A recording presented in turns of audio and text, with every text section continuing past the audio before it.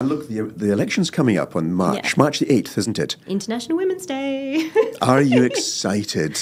yes, I am. It's um, yeah. I honestly, I've been so busy. I haven't given it a huge amount of thought. It's just been like, you know, it's something that I'm like, yes, if if I can make this happen, and if I can be part of it, that's fantastic. And um, I think in the next month or so, it's going to start really hitting home that it's it's actually happening. We're doing this. We're campaigning. What Let's will your go. Daughter, what will your daughters say when you get into Parliament? What are they going to say to Mum, the MP?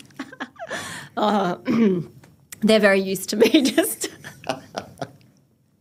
they're like what now but um yeah they they're yeah they're proud of me they're like that um article that we had in the west that's you know they they took that and, and put that on the fridge so Did they know? yeah so uh, yeah they're very really proud and excited. They're um yeah they know they know my reasons for doing it and and they support them and they yeah. Yeah and it's it's just such a great example for your children. Is not you know to just sit home and complain about you know what you're unhappy about but actually then going and doing something about it